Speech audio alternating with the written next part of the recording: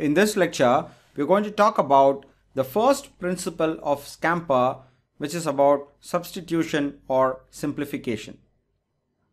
As I mentioned earlier, the letter S here stands for simplification or substitution and the idea is to consider how the existing process, procedure, material, resources, equipment, product or even service can be simplified or substituted with something else, thereby we overcome the problem.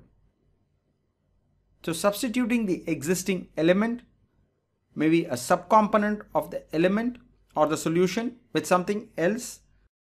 We all know the benefits of process simplification. They're very direct and obvious.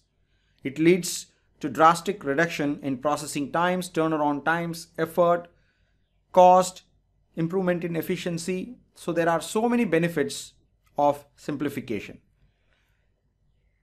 So I would conclude that the purpose of simplify or substitute in Scamper is to act as a stimulus for idea generation and the way it is also arranged in Scamper is because the biggest of the opportunities are taken up first. So substitute or simplify usually is a big opportunity and that is why we have S above all the other principles.